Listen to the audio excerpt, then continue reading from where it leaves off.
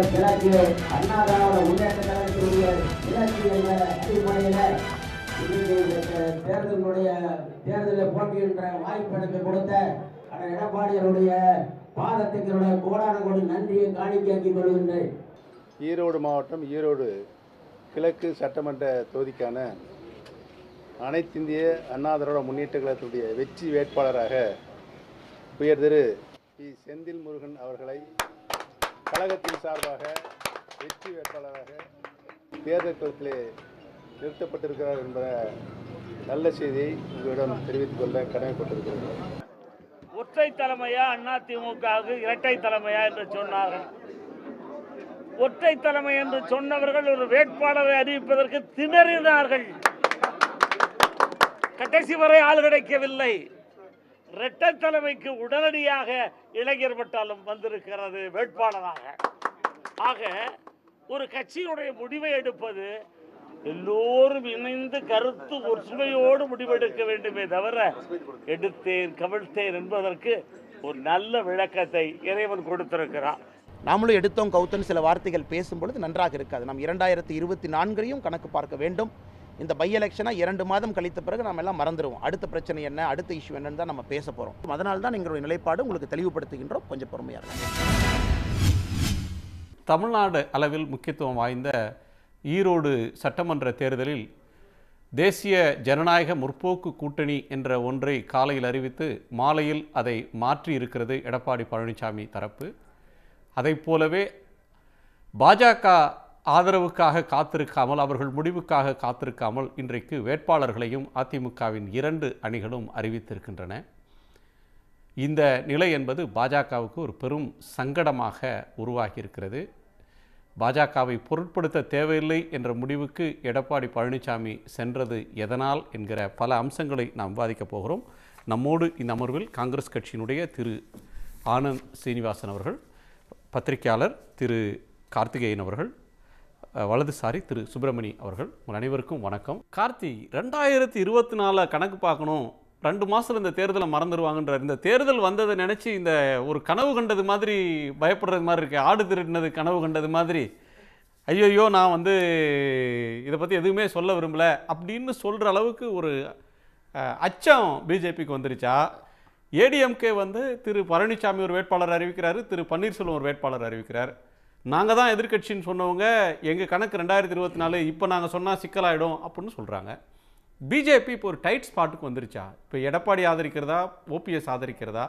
இதற்கிடையில் எடப்பாடி தரப்பு வந்து பிரதமர் மோடியின் படத்தையோ அண்ணாமலை படத்தையோ அமித்ஷா படத்தையோ நட்டா படத்தையோ வைக்காமல் பூவை ஜெகன்மூர்த்தி கிருஷ்ணசாமி இவங்க படத்தை வச்சு அவங்க வந்து தேர்தல் பணிமனையை திறக்கிறாங்க. வாசனை ஒட்டி. G K Vasan.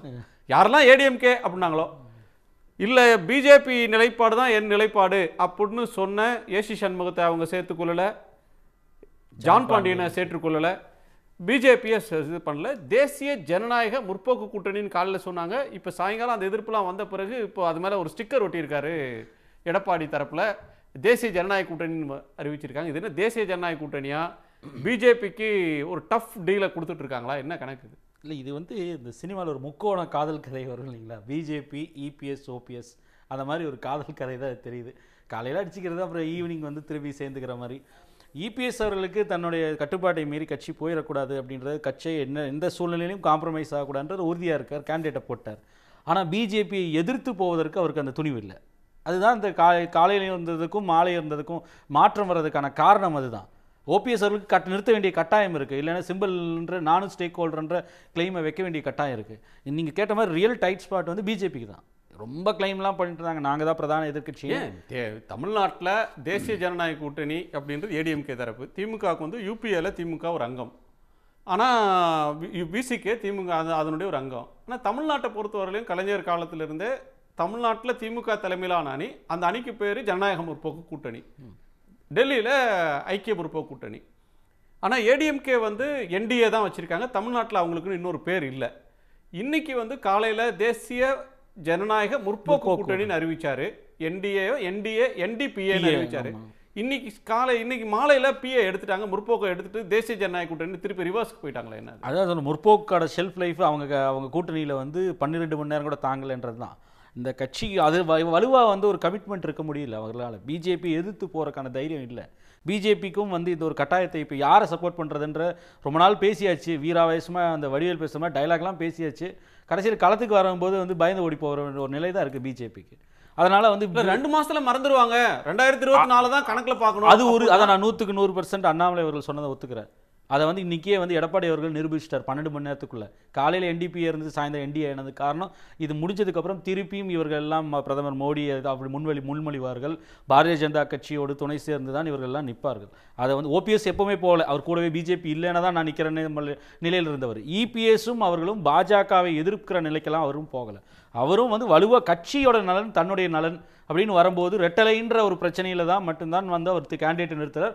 காரணம் அவர் வலுவான பகுதியில் இந்த தேர்தல் நடக்கிறதுக்கான காரணம். இதே வந்து ஒரு கோவில்பட்டியிலோ வேற எங்கேயாவது ஒரு சவுத்தில் ஏதோ ஒரு இடத்துல திருநெல்வேலியில் நடக்குதுன்னா இந்த அளவுக்கு வலுவா தெரியல. ஆனாலும் அவருக்கு அந்த கட்சி தன்னுடைய எதிர்காலம் அப்படின்ற ஒன்று இருக்குது கட்சி ரெட்டலைன்ற ஒரு பிரச்சனைக்காக தான் வந்து வலுவாக களமிறங்குறார். பாரதிய ஜனதா கட்சிக்கு இலக்கிறதுக்கு ஒன்றுமே இல்லை. நின்று பார்த்துருக்கலாம். ஆனால் நின்னா வந்து எல்லாமே இழந்து போயிடும் ரெண்டு ஒன்றரை வருஷம் பேசின வா பேச்சுக்கள் எல்லாம் சமூக ஊடகங்கள் இது தளங்கள்லையும் சரி அண்ணாமலை அவர்கள் நாங்கள் தான் பிரதான எதிர்கட்சின்னு பேசுனது எல்லாமே அந்த பலூன் படா டமால்னு வெடிச்சு போயிடும். அதையெல்லாம் வந்து அதுக்கு தே afford to do அதனால் ரெண்டாயிரத்தி இருபத்தி நாலில் இப்போ நான் முன்பே போன தடவை கூட உங்ககிட்ட சொன்னேன் நாலு நாளைக்கு முன்னாடி தான் அதிமுக தான் பெரிய கட்சின்றதே கையை மூடிட்டு. வச்சிருக்கிற வரையில தான் அதுக்குள்ள என்னமோ. இருக்கு என்னமோ இருக்குன்னு இருக்கும் இடைத்தேர்தல் களத்துல போய் கையை விரிச்சு காட்டிட்டா ஒண்ணும் இல்ல திருப்பியும் வந்துரும் நீங்க பாருங்க. மறுபடியும் நோட்டா வெர்சஸ் பிஜேபின்ற பிரச்சனைக்கு போச்சுன்னா பாரதிய ஜனதா கட்சி cannot they cannot afford to do it ஒரு லோக்சபாவுக்கு முன்பு வந்து திரு மணிகண்டனுடைய பார்வைக்கு திரு மணிகண்டன் ஒரு வேட்பாளரை அறிவிக்கிறாங்க அது அந்த கட்சியினுடைய உரிமை தேசிய ஜனநாயக கூட்டணி அப்படின்றத தேசிய ஜனநாயக முற்போக்கு கூட்டணின்னு காலில் போட்டுட்டு சாயங்காலம் மாத்துறது எதனால?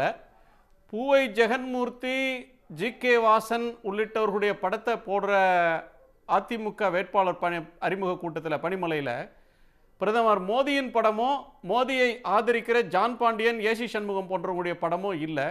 இது என்ன செய்தியை சொல்கிறீங்க பிஜேபியை கழட்டி விட்டீங்களா அந்த அதிமுக அணியில்?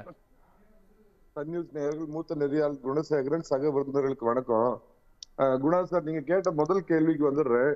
கடந்த நகர்ப்புற உள்ளாட்சி தேர்தலில் பாத்தீங்க அப்படின்னு சொன்னா அதிமுகவிற்கும் பாஜகவிற்கும் வந்து பாத்தீங்கன்னா கூட்டணி தொடரல. அப்பயே என்ன ஆச்சுன்னா நீங்க அவங்க வந்து அவங்களுடைய இதுக்கு அதிகமா சீட்டு கேட்டதுனால நீங்க போய் தனியா நில்லுங்கப்பா அப்படின்னு சொல்லிட்டு தேவை ஏற்பட்டால் இருபது இருபத்தி நாலில் இந்த கூட்டணி தொடரும் அப்படின்னு அன்று அண்ணாமலை அவர்கள் அறிவிச்சாரு.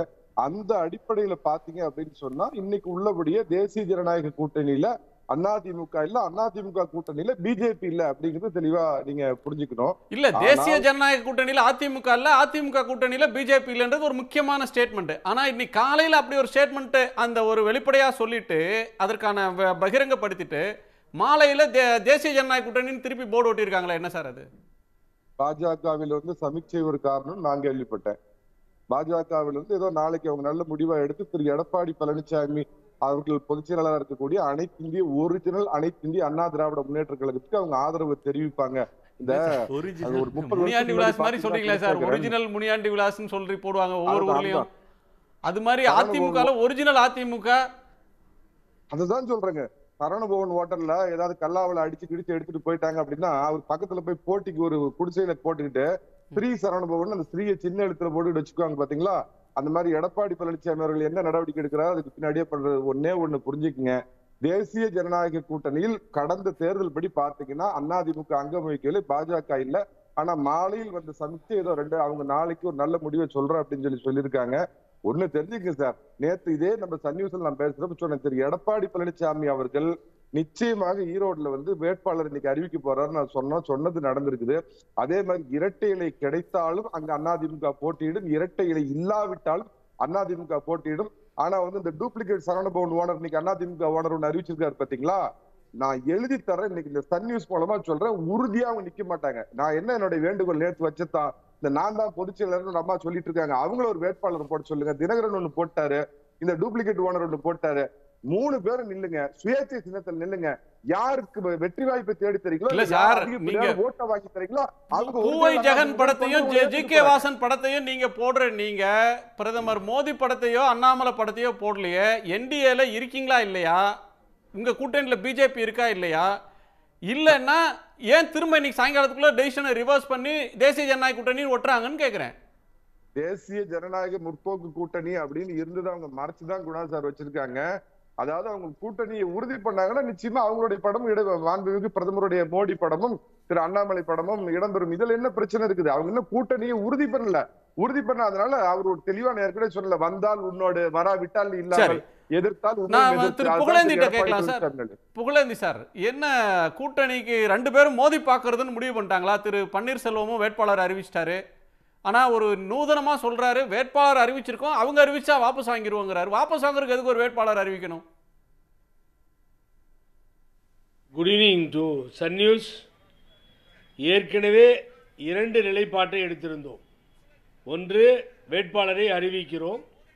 இல்லை என்று சொன்னால் பாரதிய ஜனதா கட்சி நிற்க விரும்பினால் நாங்கள் நிற்க மாட்டோம் ஆதரவு தருகிறோம். காங்கிரஸ் நிற்கிறது ஆகவே தேசிய கட்சிகள் நிற்கட்டும் என்கின்ற முடிவை எடுத்திருந்தோம். ஆனால் இதுவரை ஒரு முடிவை பாரதிய ஜனதா கட்சி எட்டவில்லை. தினமும் காலம் தாழ்த்தி கொண்டு இது நிதானமாக போய்க் கொண்டிருக்கிறது என்பதால் இப்படிப்பட்ட சூழ்நிலையில் எடப்பாடி பழனிசாமி வேட்பாளரை அறிவித்தார். அவ்வளவு கஷ்டமான முடிவா சார்? ஒரு வேட்பாளர் அறிவிக்கிறதோ அல்லது ஒருத்தர் ஆதரிக்கிறதுன்றது அவ்வளவு கஷ்டமான ஒரு முடிவா? வேட்பாளர் தேதி அறிவிச்ச உடனே வேட்பா ஒரு தேர்தல் பணிக்குழு அப்படின்னு ஒரு பதினாலு பேரை வந்து அண்ணாமலை அறிவிச்சாரு. தேர்தல் பணிக்குழு அறிவிச்ச அவங்களால ஒரு வேட்பாளரையோ ஒரு முடிவையோ அறிவிக்க முடியலையே. அவ்வளவு கஷ்டமான டெசிஷன் அது?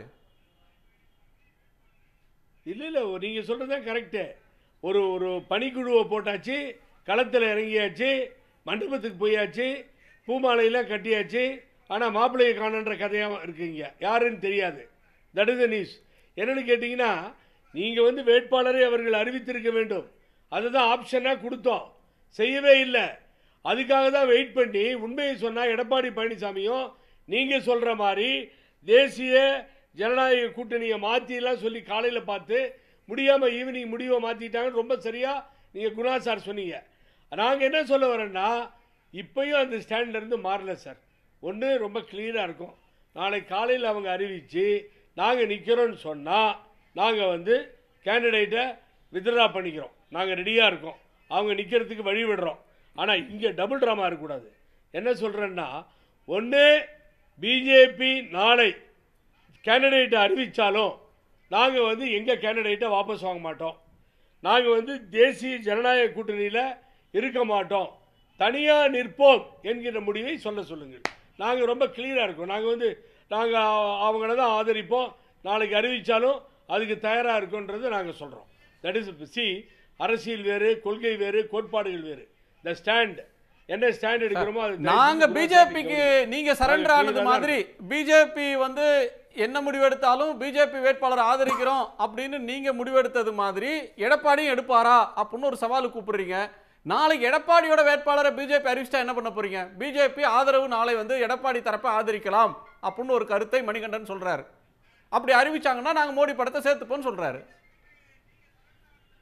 அதாவது நான் உங்களுக்கு பதில் சொல்கிறேன் நாளைக்கு அப்படி பாரதிய ஜனதா கட்சியை சொல்ல சொல்லுங்களேன். அவரை தான் அறிவிக்கிறோம் அவரை தான் ஆதரிக்கிறோம். நாங்கள் வந்து ஓ பன்னீர்செல்வம் என்கிற ஒருங்கிணைப்பாளரை புறக்கணிக்கிறோம்னு சொல்ல சொல்லுங்கள் அடுத்து என்ன பதில் வருது எங்கள்கிட்ட இருந்து பாருங்கள் ஆகவே நாளை ஏதோ நடக்கிறது என்பது பேச்சு அல்ல என்ன தெளிவான முடிவு வேண்டும் இதில். ஏன்னு கேட்டீங்கன்னா நீங்கள் சொன்ன மாதிரி ஏசி சண்முகம். அப்போது தேவைப்பட்டாரா? வேலூரில் மூணு தொகுதியில் லீடிங் பண்ணி கொடுத்தாரு. டே நைட் உழைச்சாரு. பணத்தை தண்ணியாக இறைச்சாரு. அப்போ இந்த நீதி கட்சியினுடைய ஏசி சண்முகம் தேவைப்பட்டார். இன்னைக்கு அவர் வந்து மோடி வேணும்னு சொன்னதும் இப்போ தேவையில்லைன்னு சொல்லி அவரை எடுத்துடுறாங்கன்றத நீங்கள் தான் இப்போ கோடிட்டு காண்பித்தீர்கள். என்ன சார் நியாயம்? எல்லாத்தையுமே நம்ம மறந்துடுறதா? மறந்து தூரமாக வச்சிடுறது அப்புறம் ஞாபகம் பண்ணிக்கிறது. ஆகவே இதில் பிஜேபி பாரதிய ஜனதா கட்சி தாமதமாக செயல்படுகிறது என்பதில் எனக்கு மாற்று கருத்தே இல்லை குணசேரன் சார். அதை நான் மிதி மிக தெளிவாக பதிவு செய்கிறேன். ஏன் அந்த தள்ளாட்டம்? எதற்காக இப்படி அவர்கள் அறிவிக்காமல் நகர்த்தி கொண்டே போகிறார்கள் என்பது புரியவில்லை இதுவரை. ஆகவே இபிஎஸ் அறிவித்த பின்னால் நாங்கள் அதை வேடிக்கை பார்க்க முடியாது. எங்களது வேட்பாளரை இன்றைய தினம் நாங்கள் மாலை எங்களது கழக ஒருங்கிணைப்பாளர் அறிவித்து விட்டார். களத்தை நோக்கி போய்க் கொண்டிருக்கிறோம். இது பிஜேபி நாளை என்ன செய்ய போகிறது என்பதை நாளையாவது சொல்லட்டும் என்றுதான் நாங்கள் எதிர்பார்க்கிறோம். திரு ஆனந்த் உங்க வேட்பாளரை அறிவிச்சாச்சு. காங்கிரஸ் கட்சி தன்னோட வேட்பாளரை அறிவிச்சிருச்சு. எதிர் முகாமில் வந்து ஒரு பெரிய குழப்பம் இருக்குது. ரெண்டு பேரும் போட்டின்னு சொன்னாங்க. தேர்தல் பணிக்குழுவெல்லாம் போட்டி போட்டு அறிவிச்சாங்க. வேட்பாளர் அறிவிக்காமல் இருந்தாங்க. இன்னைக்கு வேட்பாளரை அறிவிச்சிட்டாங்க. பிஜேபி இன்னைக்கு வந்து ஒரு ஒரு திணறக்கூடிய நிலைமையில் இருக்கா? முடிவெடுக்க முடியாமல் திணறுதா? இடைத்தேர்தல்லாம் போட்டியிடுவது அமித்ஷாவோட பாணி. ஆனால் அவங்க போட்டியிடுவதற்கு பயப்படுறாங்களா? யாரை ஆதரிக்கிறது யாரை விடுறது அப்படின்ற குழப்பத்தில் இருக்காங்களா? சார் இப்போ அந்தேரின்னு பாம்பேயில் ஒரு கான்ஸ்டுவன்சி இருந்தது. அதில் ஒரு லீடர் செத்து போயிட்டார். அவங்க ஒய்ஃப் நிற்கிறதா இருந்தது. முதல்ல நாங்கள் நிற்க போகிறோம் அது இதுன்னு ஃபட்னவிஸ் சொல்லிட்டு கடைசி நிமிஷத்தில் பெல்ட்டி அடித்தார் அவங்க ஆளும் இடத்துலையே. அதே மாதிரி அண்ணாமலை வெறும் பெருங்காய டப்பா காலி பெருங்காய டப்பா மாதிரி இத்தனை நாள் பேசிகிட்டு இருக்கிறாரு. இது வரைக்கும் சென்சிபிளாக இது வரைக்கும் அண்ணாமலை ஒரு பொலிட்டிக்கல் பொசிஷன் இல்லை எதுலேயுமே அவர் பேசலை.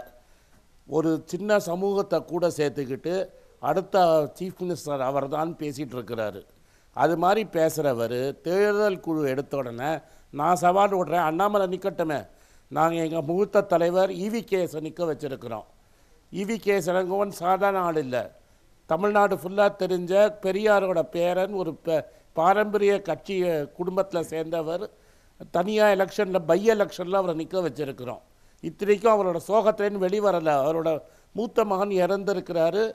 ஒரு மாதத்துக்குள்ளே அவர் எலெக்ஷனுக்கு தைரியமாக வந்துட்டார் பேசுகிறாரு அவருக்கு எழுபது வயசுக்கு மேலே ஆறுது அவர் நிற்கிறாரு தைரியமாக இன்றைக்கி என்டையர் இந்தியாவில் இருக்கிற கார்ப்பரேட் பலத்தை வச்சுக்கிட்டு இங்கே பணத்தை வச்சு அரசியல் பண்ணுற அண்ணாமலை ஏன் எலெக்ஷன் நிற்க மாட்டேங்கிறாரு?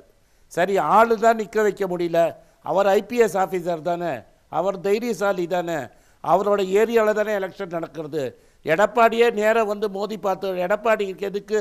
எடப்பாடியா ஓபிஎஸ்ஆன்னு பார்க்கறதுலாம் ஈவி கேஸாக அண்ணாமலையான்னு போட்டி போட்டு பார்த்துடலாம்ல. மக்கள் ஈவி கேஸில் பின்னாடி இருக்கிறாங்களா? இல்லை அண்ணாமலை பின்னாடி இருக்கிறாங்களா? ஸ்டாலின் பின்னாடி இருக்கிறாங்களா? இல்லை அண்ணாமலை பின்னாடி இருக்கிறாங்களான்னு பார்த்துடலாமே. பிஜேபி நோட்டாவோட ஜாஸ்தி ஓட்டு வாங்குறதான்னு பார்த்துடலாமே. ஆக மொத்தம் பா பிஜேபிக்கு இங்கே ஆதரவு இல்லைங்கிறது அண்ணாமலைக்கு தெரிஞ்சிருச்சு. அவர் வந்து டெபாசிட் கூட வாங்க முடியாதுங்கிறது அவர் தெரிஞ்சிருச்சு. அதனால கடைசி நிமிஷத்தில் இந்த ரெண்டு கட்சிங்களையும் ஏவி விட்டுருக்கிறாரு இன்னைக்கு கேண்டிடேட் இல்ல போடுறதுக்கு. இடைத்தேர்தலை ரெண்டு மாசத்துல மக்கள் மறந்துடுவாங்க ரெண்டாயிரத்தி இருபத்தி நாலுல என்ன லாபம் வருதுன்றது தான் கணக்கு பார்க்கணும். அதைத்தான் மைண்ட்ல வச்சுக்கணுமே தவிர ஒரு பை எலெக்ஷன்ல போய் குழு அனௌன்ஸ் பண்ணு. அப்ப ஏன் அப்ப ஏன் தேர்தல் குழு அனௌன்ஸ் பண்ணாரு? அப்ப தேர்தல் குழு அனௌன்ஸ் பண்ணாரு. தேர்தல் குழு ஏன் பேசினார் அவரு? அன்னைக்கு எங்க போச்சு புத்தி? ஒரு வாரத்துல பெல்ட்டி அடிச்சிட்டாரு. அது என்னன்னா இந்த பயம் குணா இது பயம். மக்களை சந்திக்கிறதுக்கு பயம். ஏன்னா அந்த இடத்துல எம்எஸ்எம்இ தொழில் பண்ணுறவங்க இருக்காங்க. நிர்மலா சீதாராமனோட ராங் பாலிசிஸை அங்கே எக்ஸ்போஸ் ஆகிடுவாங்க அங்கே இருக்கிறது ஃபுல்லாக டெக்ஸ்டைல் இண்டஸ்ட்ரி எல்லாம் போட்டு கோவத்தில் காத்துட்டு இருக்காங்க நோட்டாவோட கம்மி ஓட்டு வாங்குவார் அண்ணாமலை நின்னார்னா. தைரியசாலினா அண்ணாமலை நிற்கட்டும் நாங்கள் எங்கள் மூத்த தலைவரை நிறுத்தி இருக்கிறோம் இதுவும் எங்களுக்கு வந்து டஃப் டைம் தான். நாங்கள் வந்து அவர் வந்து சோகத்தைன் வெள்ள வர்றதுக்கு முன்னாடியே அவரை நிற்க வச்சுருக்கிறோம். நீங்கள் நிற்க வேண்டிதானே அவர் நிற்க வேண்டிதானே. ரெண்டு மெயின் மினிஸ்டர்ஸ் கேம்பெயின் பண்ணிகிட்டு இருக்காங்க நீங்கள் கேண்டிடேட்டே அப்ளை பண்ண கூப்பிட நீங்கள் தானே ஃபஸ்ட்டு தேர்தல் குழு அனௌன்ஸ் பண்ணீங்க? அவ்வளோ வலுவான லீடர் மோடி தானே எல்லாமேங்கிறார் அவர். ரெவல்யூஷனரி லீடருங்கிறார மோடி பேரை சொல்லி ஓட்டை வாங்குங்க ஈரோட்டில் ஜெயிச்சுட்டு போங்க. மோடியை கூப்பிடுங்க அமித்ஷாவை கூப்பிடுங்க கேம்பெயின் பண்ண சொல்லுங்க ஜெயிச்சுட்டு போங்க. ஏன் அமித்ஷா வந்து ஒரு ரெண்டு நாள் கேம்பெயின் பண்ணால் எல்லாமே மாறிடும்? சாணக்கியன் அது இதுன்னு பேசினாங்களே ஏன் சாணக்கியன் ஓடி போயிட்டாரு? ஏன் பிரதமர் ஒரு வார்த்தை சொன்னால் போகிறாதா மன் கி பாத் மாதிரி என் தம்பி அண்ணாமலைக்கு ஓட்டு போடுங்கன்னு சொன்னால் மக்கள் ஓட்டு போட்டுருவாங்களே. அண்ணாமலையை நிற்க வைக்கட்டும் மோடி கேம்பெயின் பண்ணட்டும் ஜெயிக்கட்டுமே. அப்படி தானே பேசுகிறார் அண்ணாமலை. இங்கே இபிஎஸ்ஸாக ஓபிஎஸ்ஸான்னு இல்லை. அது முடிஞ்சு போன கட்சி. அது முடிஞ்சு போன கட்சி அந்த கட்சியை முழு முழுங்கி இவங்க மேலுக்கு வரணும்னு நினைக்கிறாங்க. அவங்க திருப்பி அடிக்கிறாங்களே over சார். மோடி பண்ணணுங்கிறது படம் நீங்க அப்படி சொல்றீங்க. மோடி படத்தை. போடாம அண்ணாமலை படத்தை போடாம தேசிய ஜனநாயக கூட்டணின்ற வார்த்தையை போடாம தன்னோட வேட்பாளர் அறிவிச்சு களத்துக்கு போயிட்டாங்களே. எடப்பாடி பழனிசாமி அணி களத்துல இறங்கிடுச்சு. ஏன் பேரை பன்னெண்டு ஹவர்ல சார் பன்னெண்டு ஹவர்ல பெல்ட்டி அடிச்சாங்களா இல்லையா? அநேகமா தமிழ்நாட்டுல தான் வந்து மோடி தேசிய ஜனநாயக கூட்டணின்னு போட்டுட்டு மோடியோட படம் இல்லாத ஒரே தேசிய ஜனநாயக கூட்டணி தம் இந்தியாலே தமிழ்நாட்டுல மட்டும் தான் இருக்கும்னு நினைக்கிறேன். பட் அந்த பேரை மாத்திரம் உங்களால மோடி படத்தை போட விரும்பலையா அவங்க? நடக்கிறத விடுங்க. ஏன்னா மோடி படம் போட்டால் தமிழ்நாட்டில் ஓட்டு விழாது. மோடி மோடி படத்தையோ அமித்ஷா படத்தையோ நீங்கள் போட்டீங்கன்னா தமிழ்நாட்டில் நோட்டா கூட ஓட்டு ஜாஸ்தியாக விழும். நன்றி. திரு அது எடப்பாடி தெரியும். திரு சுப்பிரமணியம் என்டிஏ என்ற ஒரு கைண்ட் ஆஃப் கான்ட்ராக்ட் அதாவது ரெண்டாயிரத்தி இருபத்தி எல்லாமே கார்ப்பரேட் பார்லன்ஸ்ல மிக இதுல மாதிரியே பேசுறீங்களா சார். இது ஒரு கைண்ட் ஆஃப் கான்ட்ராக்ட் இல்ல இல்ல. இப்போ நீங்க என்டிஏ யூபிஏல என்ன பண்ணுவீங்க? பத்து கட்சிகள் வந்து ஒரு அக்ரிமெண்ட் போட்டுப்பீங்க. எனக்கு வந்து இரநூத்தி முப்பத்தி நாலு தொகுதிகள் இருக்கு தமிழ்நாட்டுல. நான் வந்து நூத்தி முப்பது தொகுதியில நிக்கிறேன் அறுபது தொகுதியில் நிக்கிறேன். அப்ப என்ன பண்ணுவோம்? ஒவ்வொரு கட்சி தலைவரும் கையெழுத்து போடுவாங்க. கூட்டணி உடன்பாடு. கூட்டணி உடன்பாடு. ஓகே தமிழ் உங்க தமிழ் எனக்கு வரல அதனால கான்ட்ராக்ட் தான் ஆங்கிலத்துல சொல்லிட்டேன். சோ அப்படி Alliance சார் அது. சரி alliance seat sharing alliance alliance okay so கற்றுக்கிறேன் உங்கள்கிட்டேருந்து ஸோ என்டிஏ எப்போ இப்போ உருவாகினது? ரெண்டாயிரத்தி இருபது கடைசியாக உருவாகினது வந்து ரெண்டாயிரத்தி இருபத்தொன்னில் இருக்கும். அப்போது யார் கையெழுத்து போட்டிருப்பாங்க? பிஜேபியிலேருந்து பிஜேபி மோடியோ என்டிஏ இருக்கு. இல்லை சார் இல்லை சார். இப்போ நான் ரீசெண்டாக உள்ள எலெக்ஷன் சொல்கிறேன் இப்போ சீட் ஷேரிங் அக்ரிமெண்ட் போட்டிருப்பாங்க இல்லையா? அடட்டாம்னு வச்சுக்கோங்களேன். அதில் போட்டிருப்பாங்க இல்லையா? வந்ததுன்னு சொல்லாதீங்க. அதில் சைன் 98 போட்டிருப்பாங்க இல்லையா. அதில் வந்து யார் தலை கையெழுத்து போட்டிருப்பாங்க? அதிமுக சைட்லேருந்து ஒருங்கிணைந்த அதிமுக இருக்கும்போது ஓ பன்னீர்செல்வம் போட்டிருப்பாரு இபிஎஸ் போட்டிருப்பாங்க. இப்போ யார் சைன் போடுவாங்க இப்போ?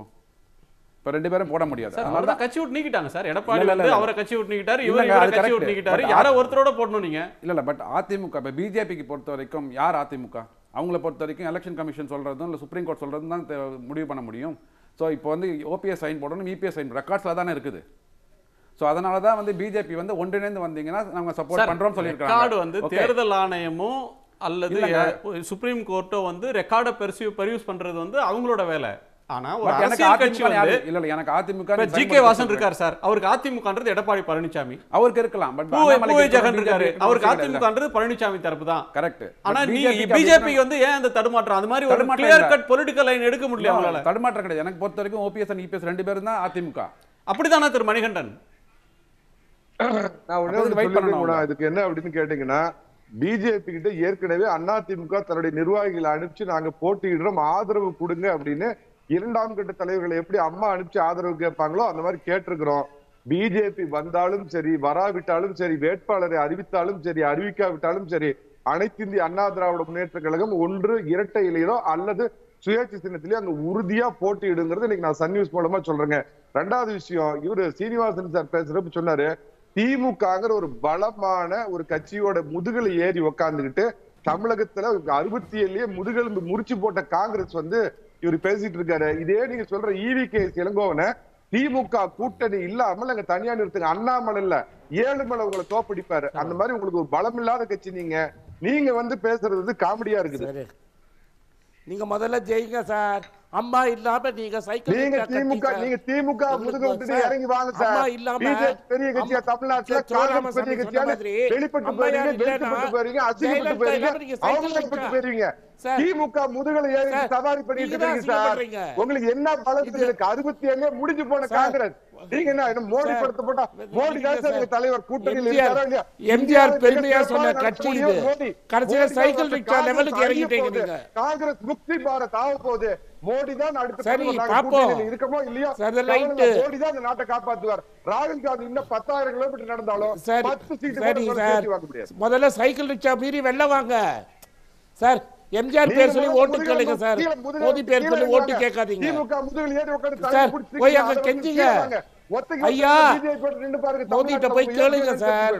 ஐயா எங்களுக்கு சப்போர்ட் கொடுங்கன்னு கெஞ்சுங்க சார் அப்ப நிக்க எடப்பாடியே நிக்க. வேண்டியதானே சார்? பொருளாதார இதெல்லாம் வந்து சொல்லுங்க. இதே தமிழ்நாடு சரி நன்றி நன்றி. திரு தமிழ்மணி இருக்கிறாரு சார். இந்த ரெண்டு வேட்பாளர் அறிவிச்சிருக்காங்க இது எப்படி நீங்க பாக்குறீங்க? பிஜேபி வந்து. முடிவெடுக்க முடியாம திணறிட்டு இருக்கான்னு. பேசிட்டு மோடி தான் இருக்கிறோம். சார் இன்னும் 50 வருஷத்துக்கு பிரதமர். உயிரோடு இருக்கிற வரைக்கும் பிஜேபி ரெண்டு வேட்பாளர்களை சர்வ நிச்சயமாக நிற்க அனுமதிக்காது. அப்படி நின்று அதிமுகவினுடைய ஓட்டுக்கள் பிரியுமானால் அது பிஜேபிக்கு பாராளுமன்ற தேர்தலில் பலவீனமாக அமையும் என்பதை அவர்கள் உணர்ந்திருக்கிறார்கள். என்ன நடக்கும் என்று மிக சுருக்கமாக சொல்லுகிறேன். உச்சநீதிமன்றத்தில் அவரை இடைக்கால பொதுச் செயலாளர் என்று உச்சநீதிமன்றம் அங்கீகரித்து விட்டது. எதன் அடிப்படையிலே? சென்னை உயர்நீதிமன்ற இரண்டு நீதிபதிகள் கொடுத்த தீர்ப்பின் அடிப்படையில். எனவே அவர்கள் தேர்தல் ஆணையத்தை நாங்கள் அவரை ஏற்றுக்கொண்டோம். இரண்டு நீதிபதிகள் ஏற்றுக்கொண்டார்கள். இந்த தேர்தலை பொறுத்தவரை அவர்தான் இடைக்கால பொதுச் செயலாளர் என்பதை நீங்கள் அங்கீகரித்து அதன்படி என்ன செய்ய வேண்டுமோ செய்யுங்கள் என்று சொல்லுவார்கள். இறுதி எங்கள் தீர்ப்பு வந்த பிறகு எது அதிமுக இல்லை என்பது தீர்மானமாகிவிடும் என்று சொல்லுவார்கள். அதை பயன்படுத்தி இரட்டை இலையை இபிஎஸ்க்கு கொடுத்து விடுவார்கள். பன்னீர்செல்வத்தை பாஜக அன்போடு விலகிக் கொள்ளுங்கள். இல்லாவிட்டால் உங்கள் எதிர்கால அரசியல் எதிர்காலம் சூன்யமாக மாறிவிடும் என்று சொல்லி விலக்கி கொண்டு விடுவார்கள். ஒரு ப்ரோ பிஜேபி ப்ரோ பழனிசாமி லைனை பிஜேபி எடுத்துரும். பிஜேபி முதல்லயே சொல்லிட்டாங்க ரெட்டை இலையை நாங்கள் எதிர்த்து ஒன்றும் செய்ய மாட்டோம்னு அனௌன்ஸ் பண்ணிட்டாங்க. நேற்று வரைக்கும் செய்தி கூட அவங்க பிஜேபி இவங்களை ஆதரிக்கிறதா தான் சூசகமாக. எடப்பாடி பழனிசாமி தரப்பை ஆதரிப்பதாக. அவங்க எடப்பாடி அறிவிக்கிறதுக்கு இவ்வளவு தயங்குறாங்க? அவங்க அறிக்கை அறிவிக்கிறதுக்கு உச்சநீதிமன்ற தீர்ப்பு வந்துருச்சுன்னால் யாருக்கும் கெட்ட பேர் இல்லாமல் டிப்ளமெட்டிக்காக உச்சநீதிமன்ற சின்னத்தை கொடுத்துருச்சு நாங்கள் ஏற்றுக்கிட்டோம் அது ஒரு டிப்ளமசி அரசியல் டிப்ளமசி இன்னும் தேர்தல் மனு போடுறதுக்கு நாள் இருக்கு அவங்க நிற்க போகலை. பிஜேபி ஒரு டிப்ளமசியை கடைபிடிக்குது. ஆனால் மோடி படம் இல்லாமல் அமி அண்ணாமலை படம் இல்லாமல் இப்போ நம்ம A C Shanmugam or John Pandian எல்லாம் புறக்கணிச்சிட்டு அவங்கெல்லாம் எங்கள் கூட்டணியில் இல்லைன்னு அறிவிச்சிட்டு ஒரு தேர்தல் பணிமனையை அவங்கள ஆதரிக்கிறவங்களோட ஆரம்பிக்கிறாங்கன்னா என்ன சிக்னலை எடப்பாடி தர்றார்? நான் தான் தமிழ்நாட்டை பொறுத்த வரைக்கும் தலைமை ஏற்பேன். என்னை தலைமையை ஏற்றுக்கொள்கிறவர்கள் திருப்பி திருப்பி சொல்கிறார் அந்த ஒரு நீங்கள் வாங்க என் கூட வாங்க. நீங்கள் இல்லைன்னா ஒன்றும் தப்பு இல்லை நான் நின்றுக்குவேன் எப்படியும் தோக்க போகிறேன் எனக்கு இப்போ இதில் ஒரே சிங்கிள் பாயிண்ட் ப்ரோக்ராம் தான். இப்போ பிபிஎஸ்க்கு இந்த தேர்தலோடு அவரை வெளியே அனுப்பிச்சிடணும். ஓபிஎஸ்ஸை வெளியே அனுப்பிச்சிடணும். அதில் ஜெயிச்சா போதும் திமு காங்கிரஸ் தான் ஜெயிக்க போதுன்னு எல்லாருக்கும் தெரியும் அதில். அவர் அவர் தெளிவாக இருக்கார். ஒரே கல்லில் ரெண்டு மாங்காய் பாஜக பிஜேகேக்கு இப்போ இடத்த பார்த்துக்க. ஒன்று ஒன்று உன்னை தூக்கி தொழில் வச்சுக்கிட்டு கொஞ்சம் முத்தம் கொடுக்கல உனக்கு. வந்தாவா இல்லை போ. அவங்கள பொறுத்த வரைக்கும் நான் நிற்கிறேன் அதோட உன்னுடைய எதிர்காலம் முடிஞ்சு போச்சு. ஓபிஎஸ் வெளியே போ. சிங்கிள் பாயிண்ட் அஜெண்டா தான். வந்து பிஜேபி ஏன் தலைமை ஏற்றுக்கிட்டு இருக்கணும்? எந்த தலைமையின் கீழே பன்னீர்செல்வத்துக்கு இடமில்லை. இந்த ரெண்டு. சொல்றது தான் அந்த தேர்தல். பன்னீர்செல்வம் ஒதுக்கப்பட்டு விடுவார். அப்படித்தானா இல்ல அது ஒரு நிறைவு காலகாலமாக தான் சொல்லி நீங்க சொல்றதோட நிறைவு செஞ்சிடலாம். சுருக்கமா. இல்லை பிஜேபி வந்து இபிஎஸ் ஆதரிக்கணும்னா இவ்வளோ நாள் சுப்ரீம் கோர்ட் வரைக்கும் வெயிட் பண்ண வேண்டாமே. ஆல்ரெடி இரட்டை தலைமை இல்லைன்ற அந்த ஜூலை பதினொன்று மாற்றத்தை வந்து எலெக்ஷன் கமிஷன் ஏற்றுட்டு போயிருக்கலாமே. பண்ணுறேன்னா அப்போவே பண்ணியிருக்கலாமே. பிஜேபி இப்போது அதிமுக எ- எடப்பாடி பழனிசாமி தலைவரில் வந்து ரொம்ப வலுவாக வந்து அவர் ஒரு பெரிய தலைவராக வந்து வலுவான தலைவராக உருவெடுக்கிறத பா பிஜேபி விரும்புது அப்படின்னா அதை ஆமோதிக்குதுன்னா எப்போவோ பண்ணிட்டு போயிருக்கலாமே. இப்போ ரெண்டாவது ப- சுப்ரீம் கோர்ட் இன்டர்லாக்யூட்டரி அப்ளிகேஷனில் ரெஸ்பான்ஸை தான் கேட்டிருக்குது.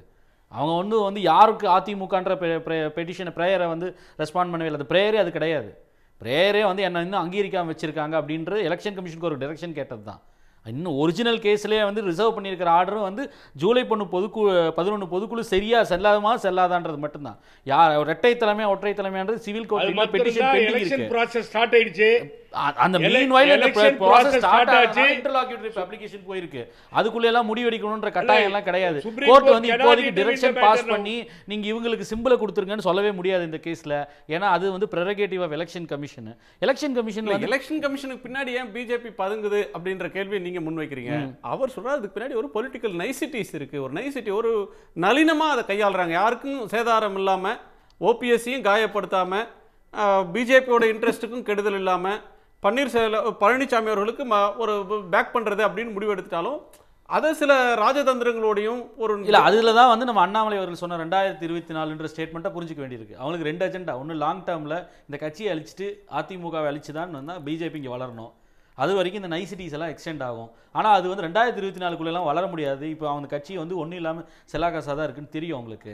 அதிமுக திரு எடப்பாடி பழனிசாமியோ யாரோ ஒருத்தரோ அவரை நம்பி தான் பயணிக்கணுன்றது ரெண்டாயிரத்தி இருபத்தி நாலுக்கு முப்பத்தொம்பது சீட்டுக்கு தேவைன்றது. அடுத்த சிஎம் கேண்டிடேட் அண்ணாமலை தான் ஒரு குரூப் சொல்லிட்டு இருக்காங்க. அவரோட அவ்வளோ சொல்றவரா இருந்தா இந்நேரம் வந்து ஈரோடு கிழக்கு கேண்டிடேட் அனௌன்ஸ் பண்ணியிருப்பார் சார். அவ்வளோ சொல்றவரா இருந்தா இந்நேரத்துக்கு. அவர் கேட்டார் இல்லையா? திரு மணிகண்டன் ஏன் அனௌன்ஸ் பண்ணலன்னு சொல்லி கேட்குறாரு ஏன் அனௌன்ஸ் பண்ணல?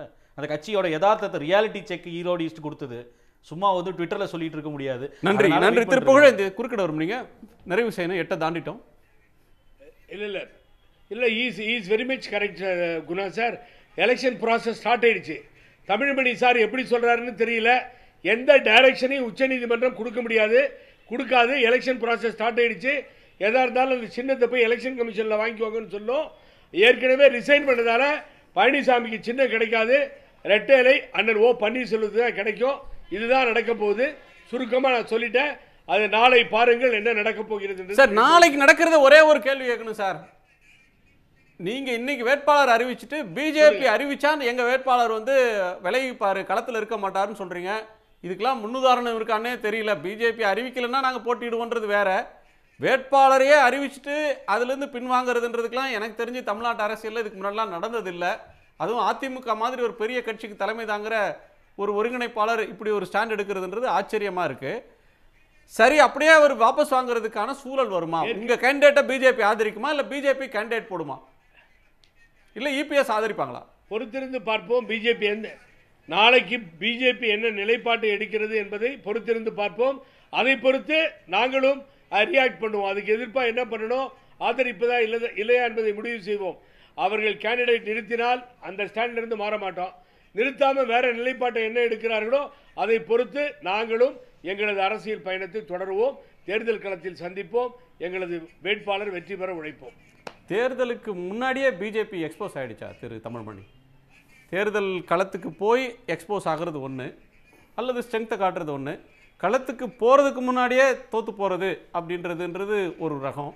இந்த பிஜேபியோட ஊசலாட்டம் ஊடாட்டம்ன்றது எதை காட்டுது? மன்னிச்சுக்கோங்க.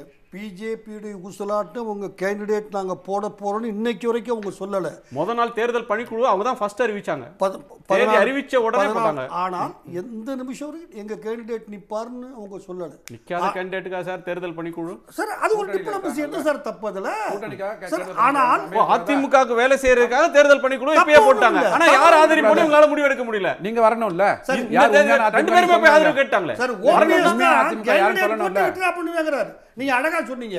அதுதான் சறுக்கல் அவங்க அது பிஜேபியை பொறுத்த வரைக்கும் தமிழ்நாட்டில் இன்னும் ஐம்பது ஆண்டு காலம் இத்தனை ஒரு திராவிட கட்சி தோல்ல தான் உட்கார்ந்து இந்த ரெண்டு மாசமா அல்லது ஒன்றரை வருஷமா கொடுத்த போஸ்டரிங் இருக்குல்ல. நாங்க தான் எதிர்க்கட்சி. அதிமுக களத்திலேயே இல்ல. அப்படிதான் சார். அப்படி சொல்லாதான் சார் மக்கள் இப்ப நாலு பேராவது நம்புவோம். அதில் நாலாயிரம் பேர்ல. அது அரசியல்ல பொய் புதுசா? இல்ல அந்த பொய்லாம் இந்த தே- ஒரு தேர்தல்னு வந்துட்டா அது எல்லாமே புஸ்வானம் ஆயிடுதுன்னு கேக்குறேன். தேர்தல் ஆமா சார். தே நின்று தோத்தா அதை விட அவமானம். ஏன் நின்னாதான் புரிஞ்சுக்கணும். சார் போர் வீரம். எங்களுக்கு என்ன பலம் நான் காட்டுறோம் அப்படின்றது எனக்கு தெரியும் சார் என்ன பலம்ட்டு நான் ஏன் சார் டெஸ்ட் பண்றேன் என் பலத்தை? ஆனந்த் சீனிவாசன் கூப்பிடுறாரு. வாங்க சார் எங்க கேண்டிடேட் போட்டோம். நீங்க போடுங்க. என்னன்னு பாத்துருவோங்கிறாரு. சார் அது அவங்க ஒரு சா- சாதாரண சின்ன கட்சி தேசிய கட்சி வளராத கட்சி அப்படி தான் நடந்துக்க முடியும். ஆனால் நான் ஒருங்கிணைப்பாளர் சின்ன எனக்கு கிடைக்கணும் சத்தமா சொல்ற சாதாரண OPS சின்ன கட்சின்னு நீங்க சொல்றீங்க. சாதாரண சின்ன கட்சி தேசிய கட்சியா இருக்கலாம் நீங்க சொல்றீங்க. நான் சொல்றேன். அவங்க கிளைம் எப்படிப்பட்டதா இருந்துச்சு? அவங்க அப்படித்தான் சார் கிளைம் பண்ணி they have been ஆகணும் claiming tall ல. சார் அவங்க அப்படிதான். கடைசி வரைக்கும். கிளைம் பண்ணி ஆகணும். அவங்க நான் சொல்கிறது அவங்க சார் நான் பொதுநிலையாக அப்போ சொல்கிறேன் சார். அவங்க அந்த கட்சியில் இருக்கிறாங்க. அவங்க ஒத்துக்க முடியாது அதை. தமிழ்நாட்டில் ஏதாவது ஒரு திராவிட கட்சி தோளில் உட்கார்ந்தா இவங்க சவாரி பண்ணி ஆகணும். தன்னை எக்ஸ்போஸ் பண்ணிக்கிட்டாங்கன்னா மரியாதை போயிடும். அதனால தான் ஒருவேளை சின்னம் வந்துருச்சுன்னால் டைரக்ஷன்லாம் கொடுக்க முடியும். சார் அதை பார்வை தவறு. தெரியாமல் சொல்கிறாங்க கொடுக்க முடியும். கொடுக்க முடியாத டைரக்ஷனுக்கு நோட்டீஸ் கொடுத்துச்சு சுப்ரீம் கோர்ட்டு. மூணே நாளில் பதில் சொல்லி வாய்தா கொடுக்க மாட்டேன்னு சொன்னிச்சு. கொடுக்க முடியும். அது இல்ல அது ஒருவேளை சார்? அது முடிவு பண்ணும். பிரேயரே இல்லையா சார் அந்த அந்த கேஸ்ல அது? சார் பிரேயர் அதில் இல்லை சார். இன்ட்ரீம் அப்ளிகேஷன் இருக்குது. அப்ளிகேஷன்ல என்னோட எலெக்ஷனை வந்து அக்செப்ட் பண்ணல. டியூவல் லீடர்ஷிப் மெயின்டைன் பண்ணுதுன்னு சொல்லி எலெக்ஷன். கமிஷனுக்கு தான் அது சொல்லி ஏன்னா- சூட்ல இருந்து இன்னும் வந்து ரெட்டை தலைமை சேலஞ்ச் ஆகி இன்னும் பெண்டிங்ல இருக்குது. அதுக்குள்ள எப்படி சார் வந்து ஒரு பெண்டன்சி மெயின் கேஸ் பெண்டிங்காக இருக்குது சார் நான் யார் சார் இல்லைன்னு சொல்கிறா தீர்ப்பு கொடுக்காத தவறு சுப்ரீம் கோர்ட்டு அந்த தவறை சரி பண்ண வேண்டிய கடமை சுப்ரீம் கோர்ட்டுக்கு இருக்கு. அதை செய்யுது இப்போ. சரி நாளைக்கு என்ன நடக்குதுன்னு பார்ப்போம். அனைவருடைய கருத்து பகிர்வுக்கு நன்றி. மீண்டும் சந்திப்போம். இது கேள்விக்களம் மக்களின் மேடை. உடனுக்குடன் செய்திகளை தெரிந்து கொள்ள சன் நியூஸ் பெல் ஐக்கான கிளிக் பண்ணுங்க.